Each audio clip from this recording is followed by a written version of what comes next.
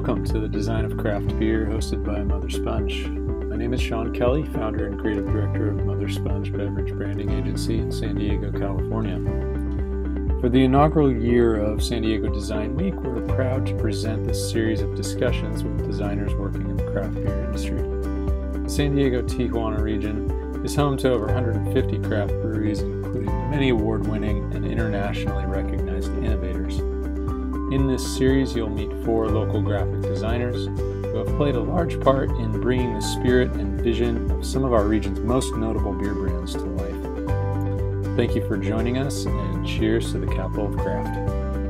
For this segment of the Design of Craft Beer, we will be chatting with Kristen Beauter, who's been working at Modern Times since 2015. As the design manager during a period of crazy growth for the company, Kristen has helped her team tackle an incredible volume of work.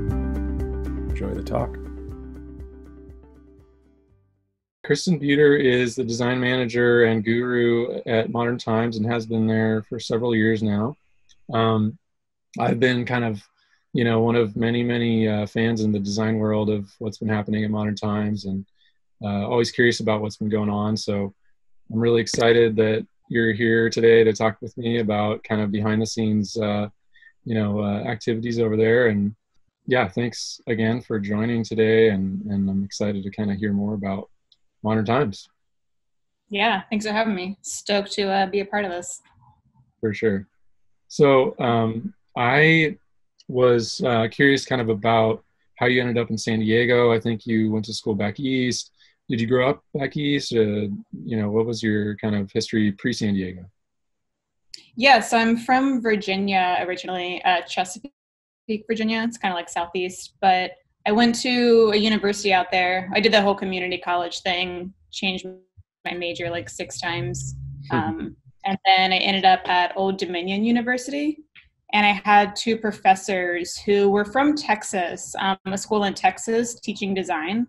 And they were just super awesome teachers. We had a really small class. I think it was like 15 people in my graduating design class. Nice. Um, um, over a few years. And it was just two really great professors that honestly kind of taught me like everything that I knew. And uh, I remember sitting, yeah, it was, I was super lucky to have them. It was uh, kind of like our final semester, and we're all like sitting around just talking. And I remember saying at the time to like my classmates, how I really wanted to design beer labels one day. You know, just like never thought it would actually happen. Just like, oh, that'd be so cool, you know, like making beer labels. yeah. Uh, and yeah, fast forward like six years, but I had some friends living out in San Diego. So a month after I graduated, I packed up my car and I drove out here. Nice. Um, I had super big dreams to like find a design job. Uh, bounced around in the service industry for a while. Um, that was kind of the biggest challenge of graduating from art school and then leaving the area that I was from. Yeah. You know, it doesn't really matter if you have a good book look if you have no experience it's really hard to get people to kind of you know look twice at you. Yeah. and i had you know a little bit of experience with some school design jobs but no like solid you know on the paper on the books experience. Um, so i got denied by a ton of uh, design jobs. I applied for a lot of stuff went to a lot of interviews but nobody would hire me because i had no experience. Um, yeah. so that was a pretty big bummer. Yeah Plus, like you don't have that network so, of you know exactly you met yeah. while you were at school, and maybe you did an internship or whatever. So yeah, um, yeah, let's think know anyone. Yeah, for sure. Well, so the other thing I was kind of wondering about is when did you get into beer? Like it sounds like in college you were already kind of pretty interested in packaging design. You know, did you become a yeah. beer nerd uh, in college, or did that happen like after you got to San Diego?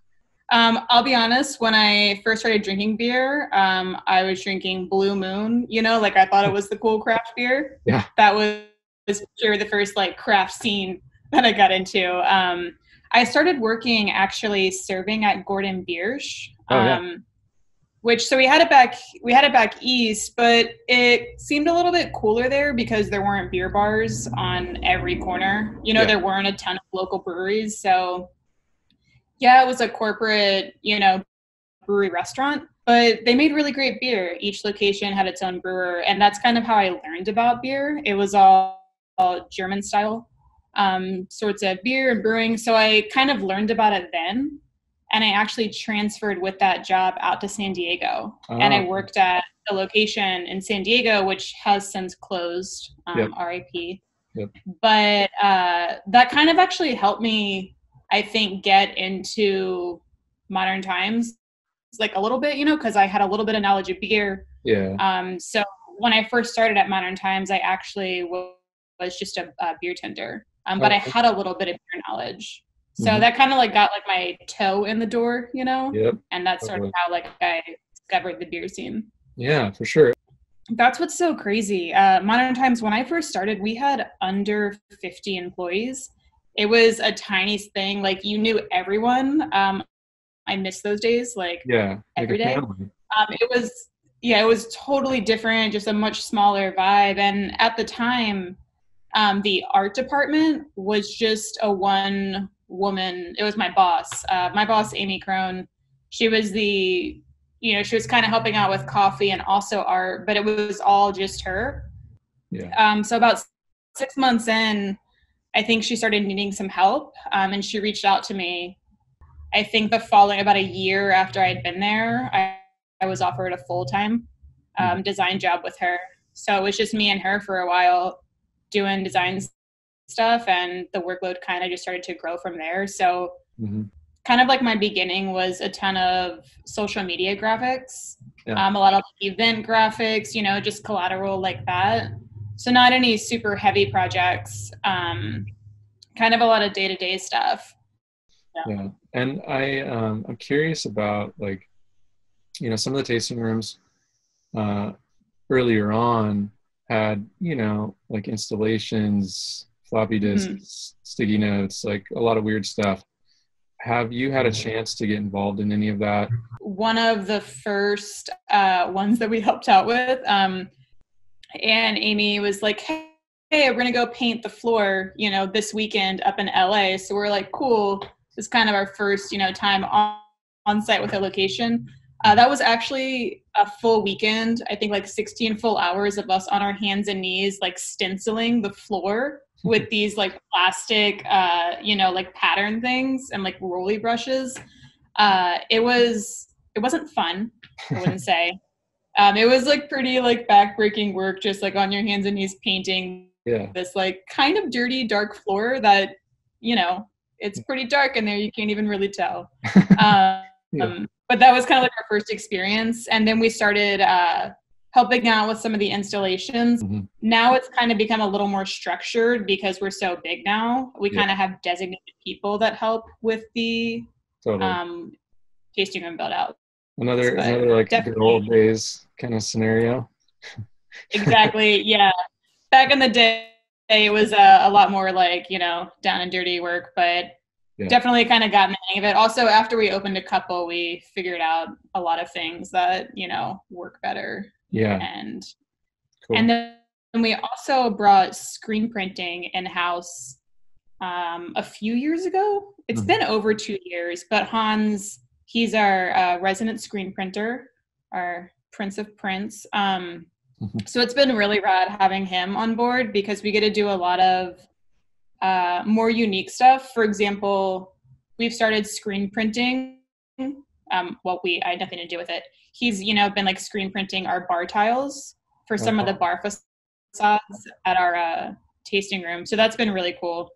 Yeah, for the most part, yeah, mostly you know t-shirts. We do bandanas, tote bags. Mm-hmm. Um, but he's actually we've started uh, screen printing labels as well.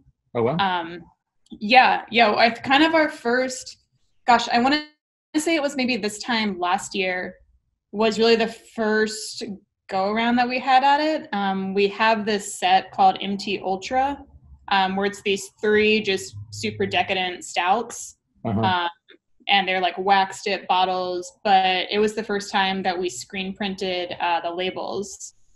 Kenny, oh, yeah, Kenny took the lead on that one with like the design. It was kind of done around where the colors would overlay each other and kind of create, you know, like a third color, just like a really cool technique. Uh, so last year we started screen printing. some beer labels for just more special beers. Yeah, yeah. like a really cool special. Exactly. Yeah. yeah. Yeah, you can't do that with hundred thousand. Yeah, I mean, it was definitely a big learning curve because the first time we did it, we had to hand label all the bottles. So it was like an all hands on deck from across the company, just assembling these suitcases, hand labeling everything, hand dipping them in the wax. It was a uh, pretty labor intensive, but the final product was for sure yeah. something to be proud of. That's right.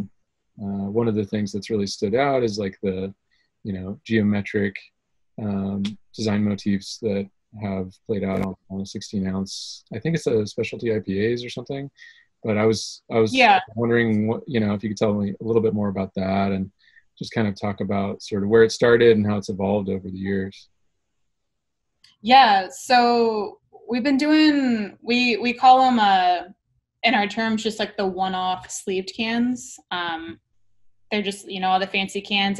Uh, but Amy designed the first couple that were kind of type-based designs, mm-hmm. and then from there I started lending a hand. And uh, she and Jacob, uh, Jacob our owner, they they've always been really into a lot of you know retro, vintage. Uh, kind of like 60s 70s wallpaper was kind of one of our initial inspirations for some of those and then it kind of evolved from there into different genres of design uh, you know fashion textiles that you see stuff we see like every day in the world um, kind of into like some more when kenny came on he's been a really like killer contribution to just uh, kind of like testing the waters and expanding it, you know, even further past what we had tried.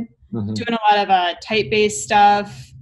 Um, he's been really great, and then we've gotten Corey on as well, uh, doing a lot of kind of like hand design type and just like altering things. Mm-hmm. Mm-hmm. Um, yeah. So it's really kind of exploded from there. Just you know, testing out all the different tools and Photoshop and Illustrator. Just yeah. kind of guys the limit when it comes to those. We have pretty great freedom to you know design kind of like whatever we're feeling you know if like we see someone that inspires us like a cool designer we can kind of riff off their style and turn it into a beer label. With all that you've seen while you've been there uh, what are some of your like really favorite moments or projects kind of along the way uh, riding this sort of crazy roller coaster at mt yeah, I mean, honestly, the the most surreal moment for sure was when we started doing these, these cans, these uh, fancy cans.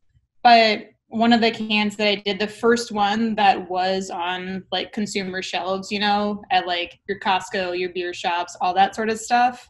Uh, the first time that I saw one of my designs out in the wild, um, and you know, like saw it like on the internet, that like people were like sharing it. Uh, that brought me some happy tears for sure. Uh, that was just a really crazy moment. I mean, that was kind of that's been the biggest, uh, the biggest like joy and kind of uh, um, the biggest reward. You know, it's just like seeing your art and your designs like out in the wild and seeing people appreciate them and get pumped on them. Yeah. Uh, definitely nothing compares to that feeling. I, I miss, like I said, I miss the days of when we were just a small, you know, 50 person company, but it's still, it's a really gratifying uh, feeling to have been a part of this for so long from, you know, like closer to the beginning times and kind of just like helping build uh, kind of like what the company's become, you know, aesthetically, you know, having a hand in that. There's yeah. been a lot of hands in it. Like it is a huge team effort, but just knowing that like I helped in some way yeah. has just been it's been super cool. I really, like I said, never thought this would happen. A big thank you to Kristen for shedding some light on the creative output at Modern Times. To see more of her team's work, including new beer releases, follow along at Modern Times Beer. And thank you all for watching the design of craft beer with Mother Sponge. Be sure to check out the other three interviews on the San Diego Design Week website.